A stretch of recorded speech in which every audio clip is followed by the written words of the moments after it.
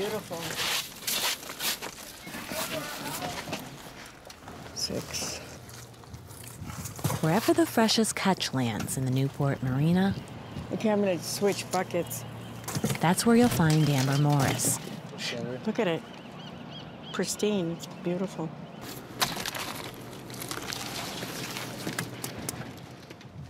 It's not soft, it's fresh. The blood's out. The rabbi would bless it. She always knows when fishermen like Larry Davis are coming in with fresh salmon and halibut, and she's at the dock to buy it right off his boat.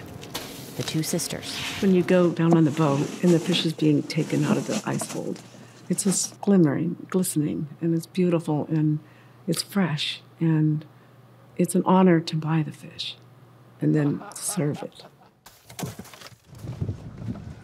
It's so fresh, the ocean hasn't missed it.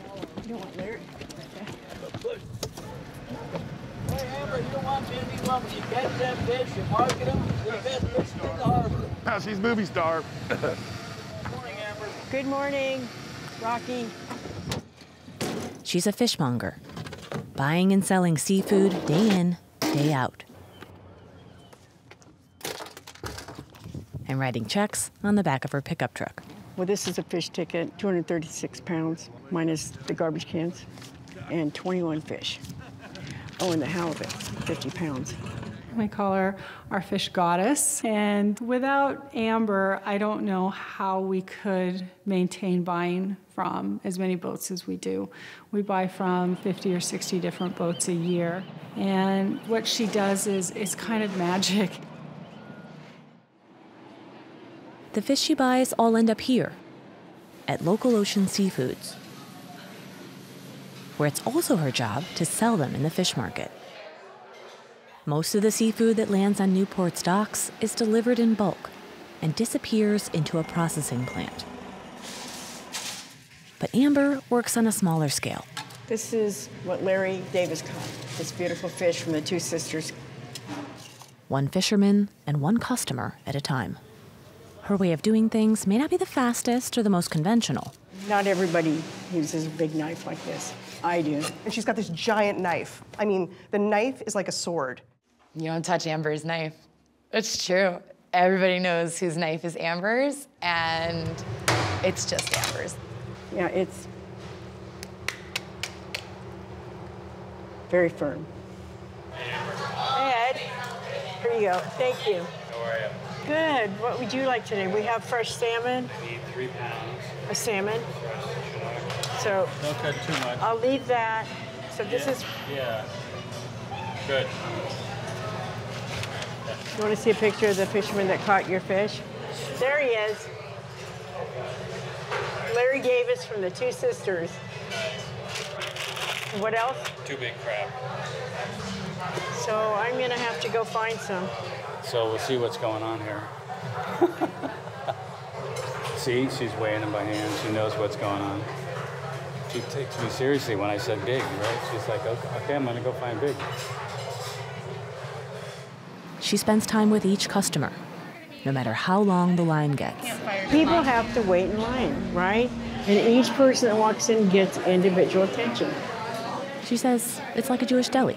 So when certain things come in, you get a phone call, you get a text. She knows what part of the salmon I want, like if I'm gonna buy a piece of smoked fish. With each fillet she sells and every scoop of ice she bags up, she always seems to add a little something extra. So extra. happy to see you. Yes, it's good to be You back. know? And we were one of the first people to come here when the place opened. Um, June 26th, Yeah. 14 years ago. yeah, we're one of the old school. Sometimes it's a selfie. Can I take a picture of you with my camera? Of course. Because I've been doing that to play. Ready? Nice. There it is. Thank you. Second. It may take a little longer, but her customers, some of whom are local chefs, say it's always worth the wait. And sometimes like the boats will be late and like she won't she's like i'm coming. She's like she'll call me she'll be like i'm coming don't you worry. I mean it's like i'm like amber dinner's in like 20 minutes you know? And she'll drive up here I'll she parks right there and she'll come in with this the fish isn't even cut and the, and the fish in one hand the knife in other she'll walk right past a full dining room of people and they're like what is going on? And she'll go in the back door and just here you go. And she said, I told you I'd be there. you know, and like, she's amazing. I mean, amazing. If Amber had her way, this story wouldn't be about her. It would be about the fishermen.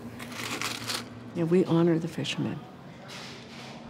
The name of the boat is on the fish, and they take pride in their boat. People actually ask me that all the time. Why don't more places do this? And the answer is it's, it's really hard. But Amber doesn't mind doing things the hard way. Dave should be here. Dave? Hey, hi. Hello. How are you today? It's what I love doing. So I don't consider it hard. So we do it one at a time. We do like to fight. Uh, you gotta know how to deal with fishermen. Know, fishermen are so unique. They're so different, each one. They're good, bad moods. You never know where they're, how they're feeling. Amber's just so low key, nice to everybody. You kind of want to make her happy, and you want to bring your product to somewhere local. You know, most of our product goes on a truck, and we never see it again. That's a good crab right there. That's a really nice summertime crab, hard as a rock. Yeah, I'm hands-on. I can just kind of drop it down. These are nice crab, Dave. Yeah, there's some good ones in there. Yeah, look at that. People come from all over Oregon, and they come to buy the fish. So I want to be there to be on top of everything every day. 119. So come to the office. And last but not least, the signature. All righty, thank you. All right, thank you. Until next time.